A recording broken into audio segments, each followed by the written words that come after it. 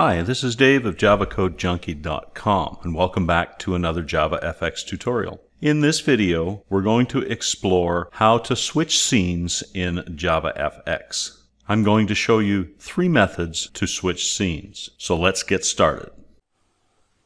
So this tutorial is going to be a little different than our previous tutorials.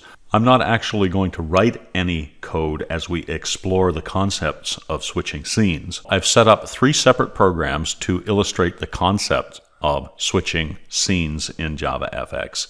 Now let's just have a look at the first one, which actually creates a new stage to display a separate scene.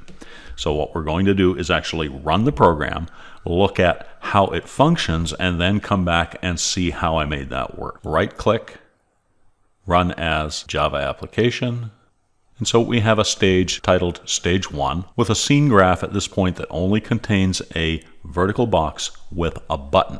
Now the button has a set on action method that allows us to switch to a new stage. If we click on the click to show stage 2 button, what's going to happen is the second stage will be shown. It's already created, so the button click event shows the new stage. And then the button click event in the second stage simply closes the stage. Now I've set this up to be application modal so that we actually have to do something with this yellow stage before we can do anything with the first or main stage. So click to close. So that's the first method of switching scenes. It's actually to create a separate stage with a new scene.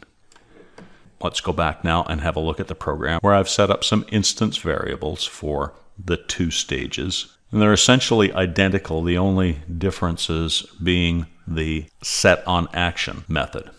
And here's the set on action using a lambda expression for button 1. It's set on action stage2.show. So simply show the second stage which contains a scene. Stage 2, the on action simply closes stage 2 and we return back to stage 1.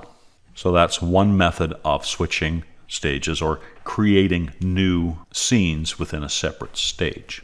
So let's close this one now and move on to the second method, which is going to switch a scene within the single stage that we're going to create. So we will run that again and see how that works in practice, and then we'll come back and we'll look at the code. Right click, run as Java application.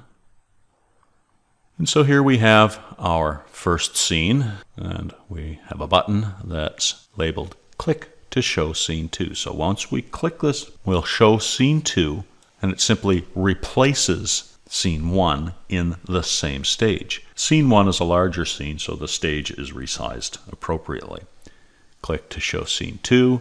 Scene 2 is a smaller scene, so again the stage is resized to fit snugly around that scene. And that's how we switch two scenes within the same stage. So let's go look at the code. Again, it's very similar to our first example, but in this one we only have one stage, and then we have two scenes, again comprised of a vertical box as the root of our scene graph in each and a button that has behavior attached.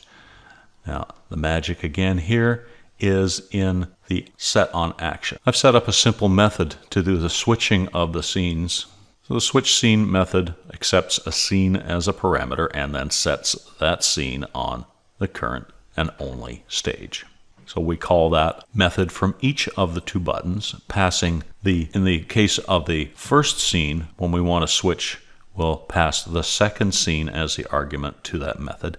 And in the second scene, we will pass the first scene as the argument to the method. So again, very simple.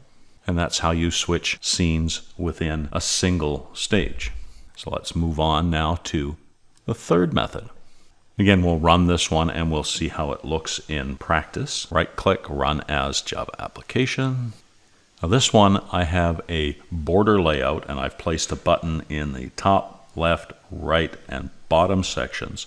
Um, this switching is not actually going to switch the entire scene. It's going to switch a pane in the center. So we're going to use a layout pane, a vertical box, as we have been doing for the other two examples, that's going to be switched within the center area of our border pane. So that allows us to maintain whatever we have in the other portions of our screen, such as in the top, maybe if we had a toolbar and a menu bar in the left, we have something else in the right, something, and in the bottom, maybe we have a status bar. Those pieces remain, and we're simply replacing the center area of our border pane. So that's another way to actually do it. So we click to show pane 2 in this example what's going to happen is we're actually going to replace the center area of our border pane with a new pane, the vertical box that we've created for showing the content for our second pane. Click, and now we have the yellow pane that's shown within the center area. So let's now go to the code and have a look at that. And again, it's very similar. We have a single stage in this one, a single scene, and we've introduced a border pane, which is going to be the root element of our scene graph.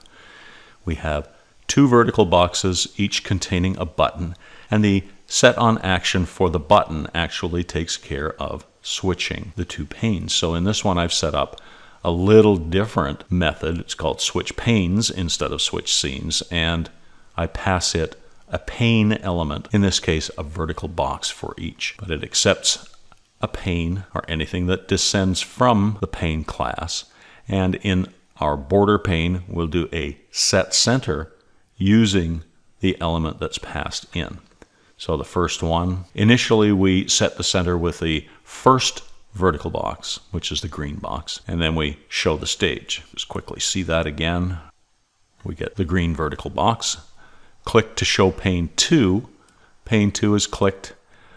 The set on action takes our second vertical box, passes it to the set pane function, and the set pane function then sets the center of our border pane with the new second vertical box. Code for this project will be available on GitHub, and I will leave a link to that in the description below. I hope you enjoyed this tutorial. If you have, please click the thumbs up button to like the video. Also, please consider subscribing to the channel to view more JavaFX videos. Thanks again for hanging out with me today. I hope to see you next time, and until then, stay safe and keep on coding.